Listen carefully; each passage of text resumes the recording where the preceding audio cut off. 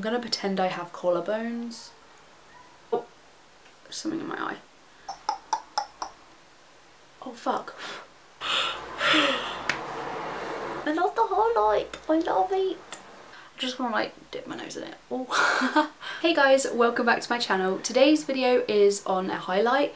Highlight I'm wearing right now actually. This video is kind of like a review slash recommendation video on a highlight that I recently bought and a highlight that I'm absolutely in love with at the moment. The highlighter I wanted to talk about is the Ofra Beverly Hills highlighter. This highlighter is £22 so it's not like crazy expensive but it's not drugstore price at all. I think the price for this highlighter is really good going since you basically get five different shades in one so it's kind of like getting five different highlighters in one. Each one of them is absolutely blinding and stunning. For this video I'm going to be showing you guys swatches of all of the colours and all of the colours put together as one, like with one swell, so you guys can see what the highlight looks like. The lighting in this video is being so weird, it's suddenly gone so dark outside and it is absolutely pissing it down my frame, so the lighting is going a little bit weird in this video, so I apologise for that, but I literally can't do anything about it because it's raining.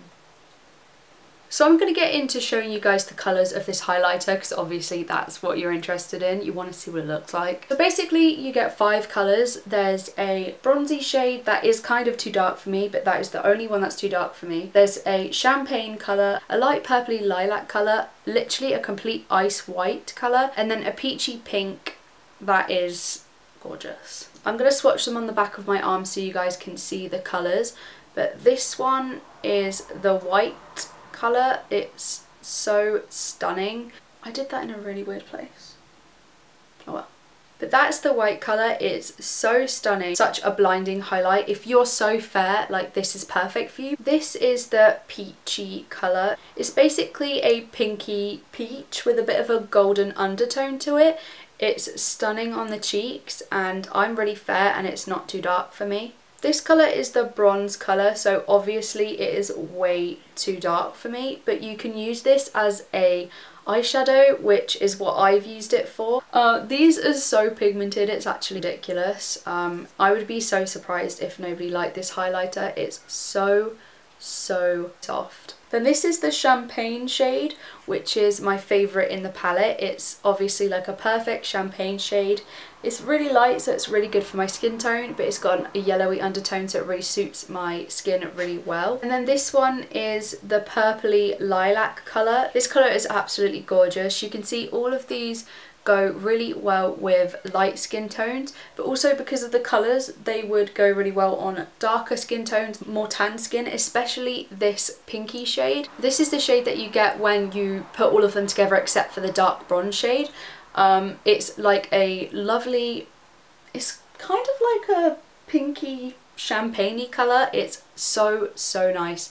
Um, and then now I'm going to show you guys what happens when you put your finger through all of them. Obviously it is darker. You can see the bronze a lot more. But as you can see, these are all of the shades that you get. This one is all of them except for the bronze. This one is all of them completely. This one is the white, the pink, the bronze. And then this one is the champagne. And this one is the purpley kind of lilac-y type of colour. You literally get so many shades in this one highlight. It's so good and so genius.